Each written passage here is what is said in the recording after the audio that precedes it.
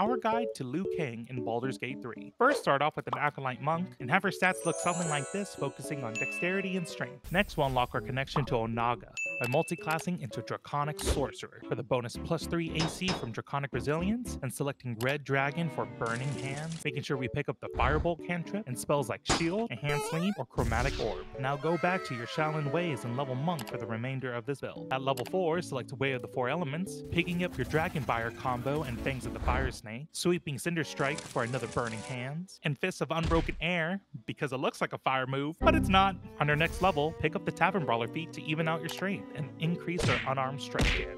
At level 7, pick up Embrace in the Inferno for access to Scorching Ray. Keep an eye out for Lady ah. Esther in Act 1 to get the gloves of Cinder and Sizzle for an additional 1d4 fire damage Wow. to your unarmed strikes and another cast of Scorching Ray to remind your enemies why you're the fire god. How would you improve our build, or would you use